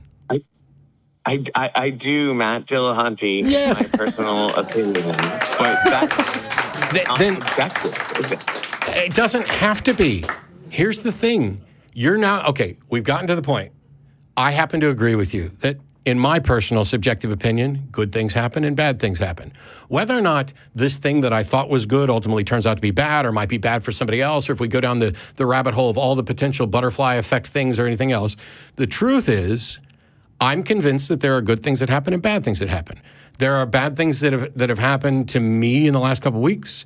Um, some things are, are some things are bad in some ways and potentially good in other ways. But I would say that a good thing that happened is that we found Jenna to come on and, to, and co-host the show. I'm gonna I'm just gonna go ahead and say that in my personal subjective opinion, that's a good thing. It might turn out to be a terrible thing. Hang on, Sean. Hang on. Hang on, Sean. Hang on. I'm sorry. It might turn out to be a bad thing. I might change my mind on it. But I have No, I really. I have the ability to look at this and say, "Holy crap!" Hey, if You have the I, ability to. I'm going to make this real easy, Sean. I'm going to leave this building in a little while and hop in my truck and drive home. Now, making it home safely without any damage to myself or my truck, I'm going to call it a good thing. Getting in an accident on the way home, I'm going to call it a bad thing. Would you agree? that, I would do it. would you agree, kind of, that that would be good thing and bad thing? Yes, I, I. I can. I can subjectively. Agree. Would you would you also agree that there are objective facts about reality that determine the likelihood of both me getting home and me getting in an accident? Yes, and I think that those objective truths make life a little harder. Well, that's and, not and, and that's not the point. Harder to have hope. Who says life isn't No, supposed goes Oh my to God. original point. How do we have hope? I'm getting to that. If you'd stop talking about how life is hard. Well, we've gotten to a point that I'm either going to get home safely, which we would agree was a good thing, or I'm going to get in an accident and potentially die or get hurt, which is a bad thing. And that the truth about which of those happens is based on objective facts about reality. The maintenance of my vehicle, the other drivers on the road, all of these things. And so I can assess the data to determine a likelihood for getting home safely or a likelihood for getting in a wreck. And because I don't know what the outcome is, I can have hope, and my hope can be based on the objective evidence, the hope for that goal. Doesn't matter how hard life is, doesn't matter what your subjective opinion about good or bad are. Once you've decided this is good and we can make some assessment about it, I can hope that I get home safely. And I can hope that you get home safely. And I can hope that other people get home safely. And they can hope the same and, thing for and, me. For the record, I, I, I am a person. Any one of my friends will tell you uh, when I part ways with anyone. Um, I say, you know, drive safely, get home safely, you know, and, and I understand, you know, that being on the road, there's a there's more probabilities of accidents. I bicycled uh, across Pennsylvania last August. I bicycled down to Florida this winter. Kinda, I cheated and took some trains because winter weather is not something you want to bicycle through. So for hope, So you weren't particularly hopeful about the weather. No, I mean like so. Yeah, I, I mean you know, like I had I had backup plans. I and and and I I I I do you know like I I I hope that my life is going to be okay, but I don't know. Is that not based on faith? Hope isn't knowledge, and hope can be based on reason. That's it. Well, I mean, um, ah, yeah. Uh, I, I, especially when you say it, especially with respect to you, it, it sounds right. But I'm I'm going to let still Jenna say it. sure. What are or, or, saying what- again? or whatever she wants. She gets to say whatever she wants. It's not like I need her. Please echo what I said, Jenna, so that Echo, it sounds. so so hope i mean i have hope about things all the time i mean i and i don't have faith the way that i define faith is believing in something without evidence i define hope as wanting something to happen um, i have hope that i mean i, I don't know how that It's if if we if we look at hope in the way that we're talking about, all it is is optimism. yeah And if your optimism is out of tune with the facts of reality, that's delusion. But if your optimism is in tune with the facts of reality, not only is there nothing wrong with that, but that's exactly what we should promote. And I don't even know how it could be a question of how one could have hope. All it is is are you having reasonable expectations based on the available evidence? We, all of our lives are uncertain. Nobody knows what's going to happen to a, a second fr- from now with regard to everything, and so we're constantly. Well, you, you're either optimistic or pessimistic, and all I'm saying is that at the extremes of those, where they're not particularly warranted, that's a problem. But in the middle, both your optimism and your pessimism may be justified by the evidence. Well, yeah, I mean, if if we look at the evidence, uh, we we see people uh, that are more comfortable with uh, driving thousands of miles in a, a, a truck full of uh, uh, high high like fuel. You know what I mean? Like explosive. You yeah, know, you know why? possible- How many of those tend to blow up and kill people? How often does that happen? Considering in, in the grand scheme of fuel being transported around the country, how often do you know, and, and I agree that statistically that is rather rare. But those same people might who are driving those trucks might be afraid of flying. Okay. I'm not saying that everybody's optimism or pessimism is justified. I pointed out at both the extremes it's not. Why would you come up with an example that's in the extreme? Basically, you're saying, hey, there are people who have unwarranted concerns about the universe. Yes, there are. No, but okay. So, i- i- i- is is it possible that it's true that there are people who have warranted concerns about the nature of the universe that are pessimistic or without hope or I, I literally just said that. I literally just said both your optimism and your pessimism may be warranted by the actual evidence. For example, I'm pessimistic that I will win the lottery even if I go and buy a ticket because I know the odds are incredibly against me. and and yeah, absolutely sensible. Um, but you know, so many people optimistically buy that ticket anyway. Okay. A lot of people believe in God. Yeah. I- Let's I- let's stop I- pointing I- to the exceptions to the rules of rationality as if it disproves rationality. Okay, but so how can we rationally have hope if we don't have faith in something that hasn't happened yet? If, if all you mean is confidence, then your confidence is in the data that you have that tells you how likely something is or isn't to happen. Uh, It's not faith, it's just confidence. It's, it is a reasonable, it is, I have expectations, reasonable expectations based on the data. That's completely different from faith in a religious sense. But if you want to call it faith, then I have faith in data. I have confidence so I- in data. I, I, I agree with you, and I have confidence in data. Then how can you still have this question? Just look at the data. Doesn't it seem like things are going more wrong than right? Wait. And that's something to worry about. And and, and, and how wrong- can we have hope that it's going to be okay? That what's going to we be What's okay? going more wrong? That have been going on for generations. Sean, what's going more wrong than right? Um. Uh. Well, I mean, you know, uh, I I really uh, the environment. Uh, you know, like pe- that that that climate change denial. Sure. Am I optimistic about our future? No, Sean. To support that climate change denial has any evidence behind it. There's no data behind that. You're sure and, about that? And You're sure that there's no. Uh, wait, did you say that there's no data behind climate change? No, climate change denial. Oh, okay. none. Yeah. Sean, Sorry. Sean, the fact that you can point to examples of things that we shouldn't be optimistic about doesn't mean that there aren't other things that we should be optimistic about. Well, but you keep using the word hope, and when when I think about hope and, and climate change, I'm like, okay, I hope that the world's not going to, you know, burn us all to pieces, but it I might hope happen. That we're not going to experience uh, global floods and increasing tornadoes, but you know, or and hurricanes and other uh, uh, uh, climate events that you know, like so from what I understand from the science, this is probably likely to happen. So how do we have hope? You don't. Okay. I mean, I think that's just a human thing. You just do. I, I, I don't know that I have anything more to say.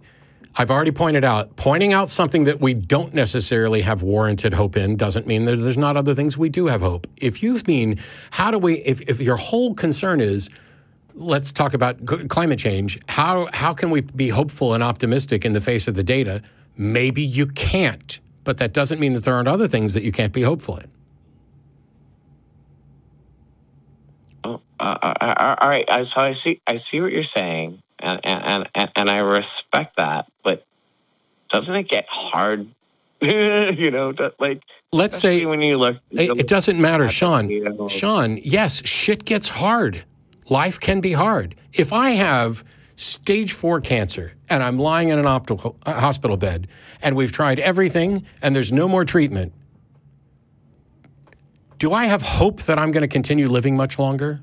No, I have no reasonable hope. I can I can wish all day long, but I don't have a reasonable hope that I'm going to continue living. Does that mean that I'm completely devoid of hope? No, because I can have hope that I don't suffer as much pain in the benefits of medication. I can have hope that my family and friends who love me will come and spend time with me at the end of my life and remember me fondly afterwards. There are still things that I can find to have hope in, even in the face of almost certain death. It's if if all you're concerned about is how can I have hope in this grand sense that everything's going to turn out all right, you can't and you shouldn't because everything's not always going to turn out all right. There's a mix of good and bad. Which, Everything's on a spectrum. and we, we, we finally sorted that out about the, the good and bad a while ago. There are things that you can be hopeful about, and there's things that you probably can't be. When, they, when you can find nothing to be hopeful about, that's a serious concern. That, that is a concern where I would recommend somebody in a position where they le- legitimately cannot be hopeful about anything should probably get a hold of the psychotherapist problem and find somebody to, to counsel them because you, you, that Part of the position is not I'm rational. asking this question- Part of the reason I'm asking this question is because uh, I, I recently lost a friend uh, to suicide, and um, and I felt like I should have been there. Like uh, I, I- I assured him that uh, I would get in touch with him, and we we would hang out. And I feel like I I missed an opportunity. Um, I'm sorry. you know like it's it's hard to to to know um uh what what you can do and what you can't and I'm not a professional therapist and I don't even know if I could have fixed to that or if anything I could have done would have changed anything you know um Yeah, that's hell. It sounds like you might need to check out that secular therapy project if you can. I'm no, I'm not trying to say anything. I'm I'm just saying it's helpful. I, I'm seeing one. If I was in your It's position, helpful. having lost somebody to suicide and having the concerns that you have, I would reach out to the secular therapy project as well. And while I'm not a therapist, I'll say this. When my grandma died a couple weeks ago, I had a chance to go visit her a week before she died, and I opted not to. It was the logistics just didn't work out. I could have made it work, but it just didn't. And so when they called me and said, you know, hey, she's going to die in a couple of hours, the first thing that went through my head was, I'm a terrible fucking grandson. Why didn't I go see her? I mean, I knew, you know, we knew she was probably within 30 days. And I realized that my reasons for not doing it weren't entirely selfish, but even if they were, that that's not necessarily a problem. I had seen her at Christmas time and we'd had a good visit. And she knows, she knew that I loved her. She knew that I cared. She knew that I was there. And the fact that I wasn't there the week before uh, isn't necessarily a problem. And there may be actually good things that come out of this. For example, my memory, my last memory of my grandmother is of us sitting around uh, the table playing cards and laughing. And that's a very different memory to hang on to than uh, watching her suffer and die at the end. The one thing that I've learned about this connection of friendships I often have felt, oh, I'm a terrible friend. Oh, I'm a terrible uncle. I only get to see my niece and nephew maybe maybe at Christmas time. I'm a terrible uncle. I I forget birthdays, you know, and I live 14 hours away if I was driving and I've got all this stuff going on in my life and I'm not being the sort of uncle that I should be or that I wish I could be, et cetera. And yet my niece and nephew don't have that perception of me. And the friends that I had in high school, there's only a, we had 900 plus people graduate my year. They split the school in half after that. I had a bunch of friends in high school. There's probably two that I've remotely kept in touch with over the years. And either one of them, hmm. I could call them up right now and we start over right from scratch. But you know what else? They're not keeping in touch with me either because they have lives. And my my my friend my friend that I was talking about here in Austin, who had stents put in and was in a coma for over a week, who I was almost certain was going to die, has recovered, gotten out of the hospital, had to go back into the hospital just the other day, and is now back out of the hospital as of I think this evening, and. I haven't, because of the travel, I haven't been up to see him as much as I would like. But I'll tell you this every time I start to feel bad about the fact that I didn't go up and visit Sean at every possible opportunity, I know that Sean is like a brother to me and knows that I would probably just didn't have the opportunity to go through there or had other reasons. And it doesn't diminish how much I cared about him at all. That's a tough thing to grip. That's that's a tough that's a tough thing to come to grips with that you're not nearly as bad as you are, as you think you are. And the fact that you think that you might have done something bad actually shows how decent you are. Because if you were truly somebody who didn't care about your friend, you couldn't possibly be feeling remorse about it now. And this is a natural part of mourning somebody that you've lost is the what could I have done different or how could I have shown that I love them more? We all do that. As far as I can tell, and I'm not a therapist, that's completely normal. And one of the things you should do is forgive yourself. But I'm doing the best I can, and it's not just for my friends, it's for everyone I know, everyone I encounter. And it's really sad often because there's so much that I wish I could explain and I wish I understood. Yeah. And I'm trying to listen and I'm trying to understand and I'm trying to, you know, Keep trying. You have to keep trying. And this may be the answer to your question about how do you have hope? Because if you stop trying, you're never going to have hope. Yeah, you have to keep trying, and we all do. And we're all going to get it wrong, and we're all going to screw up, and we're going to not care enough about somebody at exactly the right time. Mm-hmm. Maybe I had somebody contact me a week ago that was in an email that was distraught and needing help, and it came at a particularly bad time for me where I couldn't, I hadn't, I didn't have enough spoons to deal with my own issues, let alone somebody else's, and I didn't talk to them. And yet that email from somebody I don't even know has been playing on a loop in my head, going, don't forget about that. Don't forget about that. The second you get time where you're in a headspace where you could potentially help somebody, talk to them. And that's for somebody I don't know. You're not a bad friend. And the fact that you're concerned about this and concerned about the disparity of all these big issues, and you're feeling the weight of a million things on you right now, and it feels like, oh my gosh, I'll never be hopeful. I'll never have hope again in the grand sense. And all I can say is, it may feel like that, but the data shows that it's not that. That good things are going to happen, that bad things are going to happen, and that you can, in fact, be hopeful about a great many things, especially when you are putting in the effort to, to push that hope. Doesn't mean you're going to get what you want, doesn't mean everything's going to work out in the end. But hope keeps away despair, and despair is going to end all of our hope. And so, even on occasions where it's irrational to have hope, I understand why people do. despair is real and and I I think you know it too.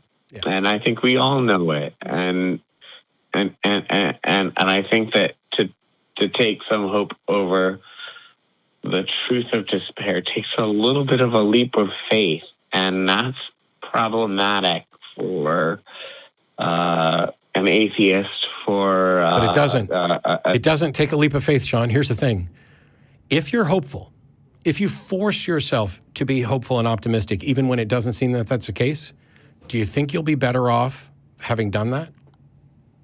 Yeah, yeah, and in fact, I I know that I've gotten better off doing exactly Right. that. The data shows that there's a benefit to being hopeful, even in the face of overwhelming odds.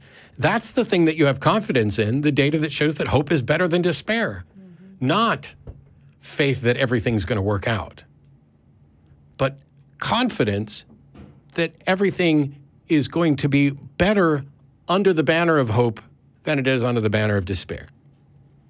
Okay, so what if that's just polishing the brass on the Titanic? You know, like I, I, I, I can smile while the world burns.